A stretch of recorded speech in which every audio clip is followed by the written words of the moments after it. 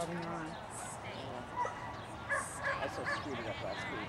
That was really. What'd you do? I don't know. Okay, go.